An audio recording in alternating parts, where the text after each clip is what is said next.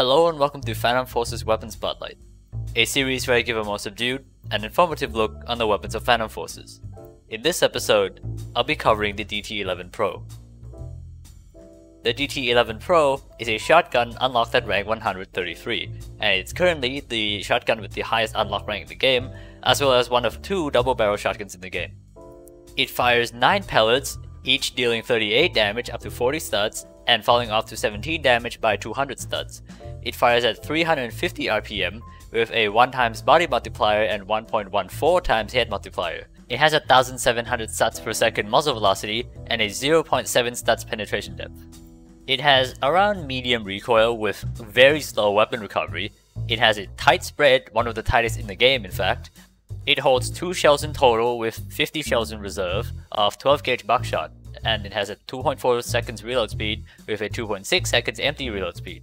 It has 14 walk speed which is average for shotguns and a 15.5 aim speed which is above average. The DT11 Pro is an excellent shotgun because it deals a lot of damage and has one of the smallest spread in the whole game. But it's unfortunately held back because it's a double barrel shotgun.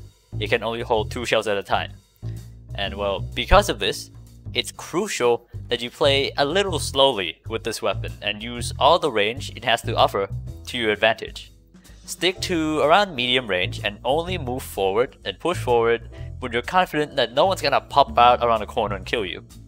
Being too close to the enemies is a real gamble as again, you only have two shots, you have to make it count. If more than two enemies show up, you're kinda screwed. The DT-11 is very much a dueling weapon.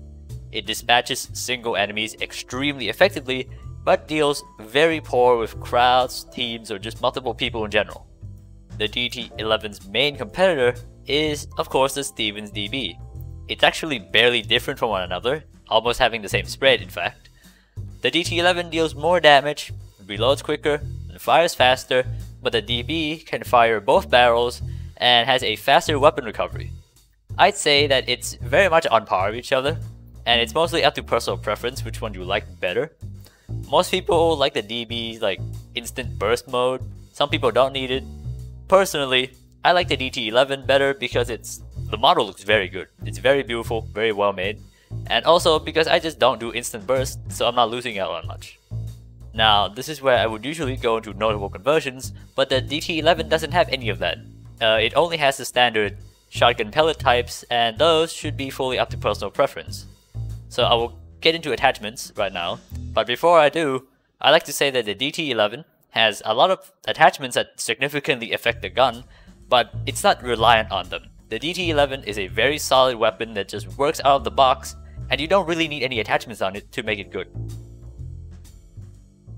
Combat barrel and short barrel both do the same thing in that they reduce reload speed, increase your walk speed, and increase your aim speed at the cost of increasing your spread. These barrel options are actually pretty good on small maps.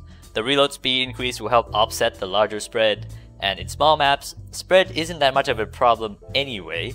And out of the two options, short barrel offers more benefits but also more downsides. Olympian stock reduces your recoil and increases your camera recovery speed at the cost of handling speed. I personally don't see much use for this stock, recoil isn't really much of an issue when you can easily one-shot people, and you only have two shots in total anyway, so it's much better to just wait for full recovery for the second shot. And even then, the problem is, is that this weapon has very slow weapon recoil recovery, not camera recoil recovery. I personally don't recommend it, but I can see why some people might like it. The sporting stock increases your weapon recovery speed, but also increasing your recoil and reducing your camera recovery speed, and also reducing your handling speed. This stock sounds good on paper as the DT11's weapon recovery speed is very slow, but in practice, the downsides are really bad. Instead of weapon recovery, now you have to deal with camera recoil and camera recoil recovery. Not to mention, you're also very slow with this stock on, so I wouldn't recommend ever using this stock. Removing the stock increases your handling speed, but also increases your recoil and further reduces your weapon recovery speed. This is actually not a bad option, as being maneuverable with the DT11 is a pretty good idea since you need to back off when you need to reload most of the time. Personally, I don't use it because it makes the weapon recovery speed even slower than it already is, but if you don't mind that and you just want to move faster, go for it, it's not bad. And as a final note, do not use the skeleton grip because it increases your spread for some reason. Go use the laser instead. And that concludes this episode of Phantom Forces Weapon Spotlight. If you enjoyed this video, please leave a like and subscribe to the channel as it helps a lot. Thank you for watching, and see you next time.